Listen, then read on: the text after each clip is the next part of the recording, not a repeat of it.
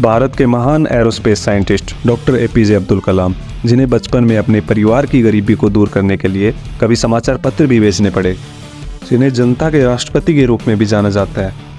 वे भारत देश के ग्यारहवें राष्ट्रपति बने।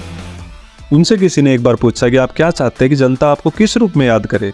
तो उनका जवाब था कि अगर लोगों को मुझे याद करना है तो एक टीचर के रूप में याद करे। अपने राष्ट्रपति पद के कार्यकाल के समाप्त होने के बाद भी दूसरे दिन ही वे चेन्नई पहुँच गए और क्लासरूम में जाकर बच्चों को पढ़ाना शुरू कर दिया। और तिरासी वर्ष की आयु में जब उनका निधन हुआ, तब भी वे विद्यार्थियों से विचार विमर्श ही कर रहे थे।